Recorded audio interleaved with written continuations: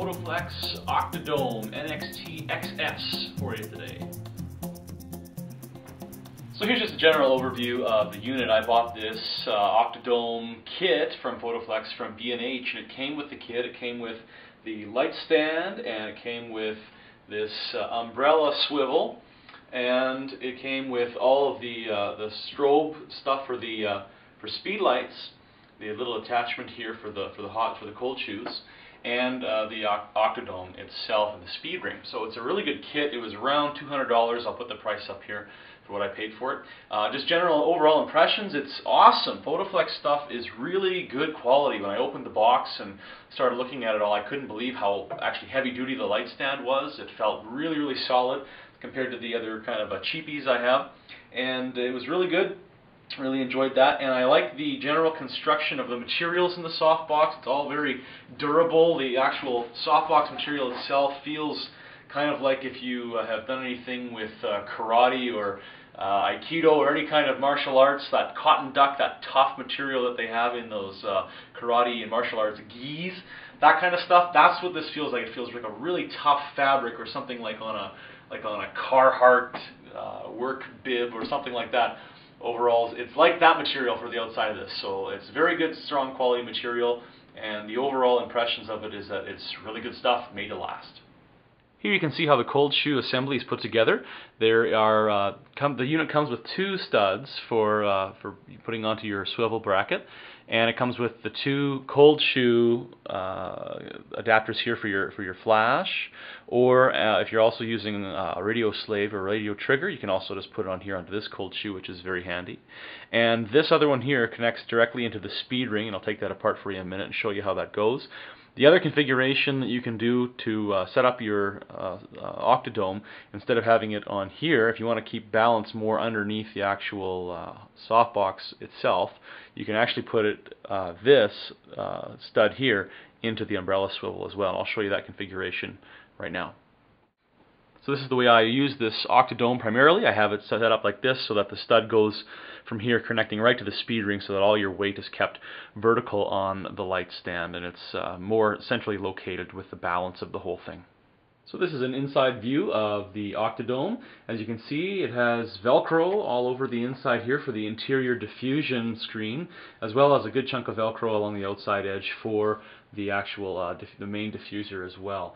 And you can see the the speed ring on the inside there just connecting to the bottom of that uh, uh, cold shoe assembly here. This uh, system is also awesome because it has uh, this speed ring you can also use for actual studio strobes and I thought that was a very good kind of selling point for this system to get into it. I am currently using it with speedlights but if I ever do get a actual strobe I could use the same system without having to get rid of it and get something else. So I thought that's a really good uh, selling feature with this particular product. There's the Octodome with the interior diffusion screen in there. And right now, you can almost use this as a beauty dish because you have this really nice reflective surface on the inside, very specular. and you have this uh, diffusion screen here. You could use it in this formation and have another versatile aspect of this, uh, of this Octodome.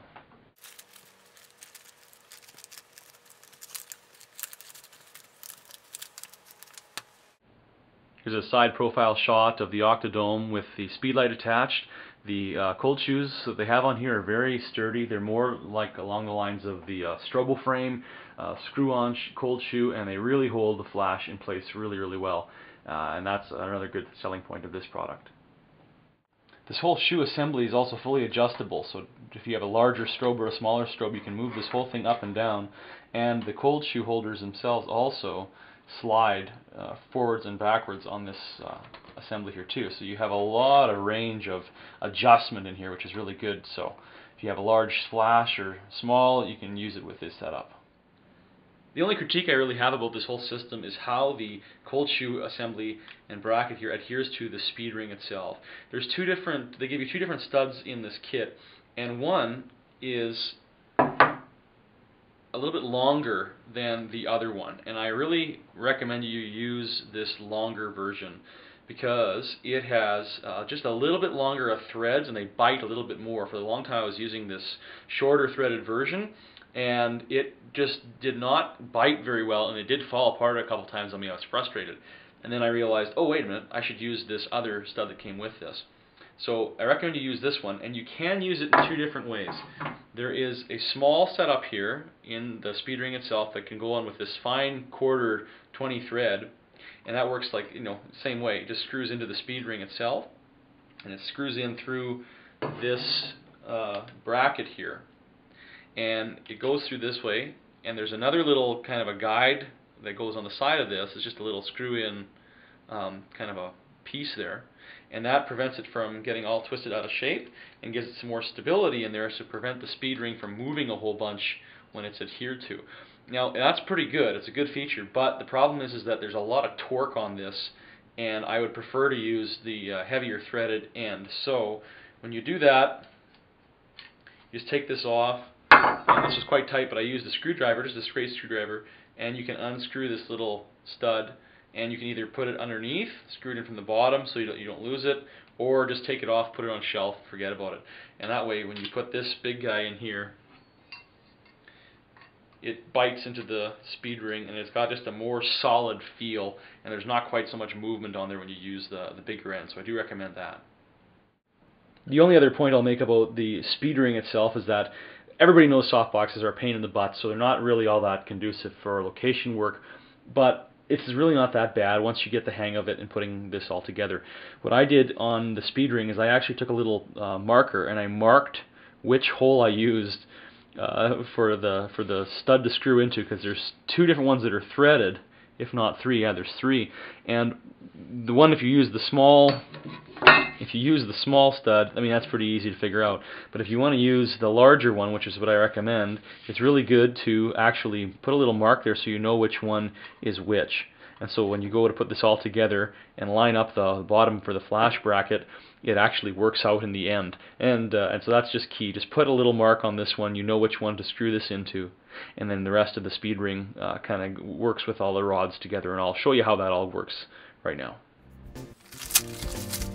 So this is the bottom of the softbox when you set it up because this is where your uh, flash cold shoe uh, assembly will go. So just remind, remember to keep that towards the bottom. And if you've made the mark on your speed ring the way that you should to uh, for the proper stud, this is the end that goes down. So if you do that, you're ahead of the game. You've already won the battle. From then on, you just go and start by putting in these uh, rods into the opposite ended sides of the speed ring as you go around.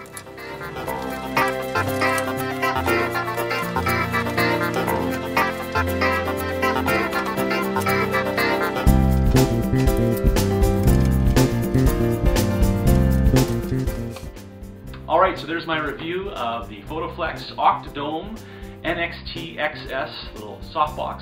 It's a great little unit. I've been really happy with it and it's just fantastic for doing portraits and headshots because you get that really nice octodome catch light in the eye that only photographers look for. Nobody cares if it's a square or not, do they? Uh, it's great. Uh, the other good thing about it is for doing uh, product photography of small products. It works really, really great for that.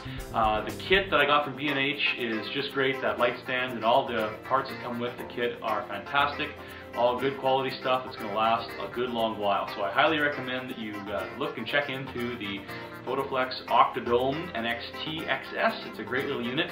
And at first I was a little unsure of Photoflex because their YouTube channel is a little bit uh, lacking. However, they make really, really great products and I'll be buying some more in the future for sure. Thanks for watching.